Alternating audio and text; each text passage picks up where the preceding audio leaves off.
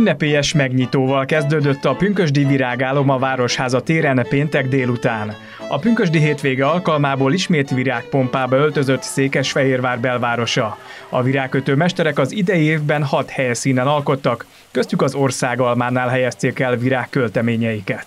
Különböző helyszíneken, itt Fehérváron, a főtéren, majd a főutcán, a fehérvári virágkötőink megvalósították álmaikat, amit pünkösre elképzeltek. Köszönjük szépen eh, nekik ez egy olyan, olyan hagyomány és egy olyan rendezvény Fehérváron, amire azt gondolom, hogy minden fehérvári büszke.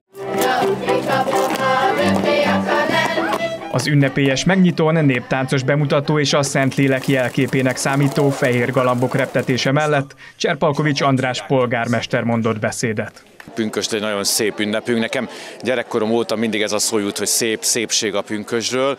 Ugye Szentlélek ünnepe talán ezt adja és üzeni nekünk. Most ez különlegesen szép időnk van, és úgy látom, hogy szépen sokan jöttek el mind, de hogy sokan segítettek nekünk következő napok előkészítése vonatkozásában. Rendezvények lesznek, vásár van, és hát itt vannak a virágkötőknek köszönhetően a csodálatosabbnál csodálatosabb alkotások virágból. Szerintem igazi művészet, amit a mi virágkötőink tudnak. A megnyitó után virágkötészeti bemutató és árverés következett, mely során a csokrokból befolyt összeggel a Fejér megyei Esélygyermekvédelmi és Gyermeksegítő Alapítványt támogatták.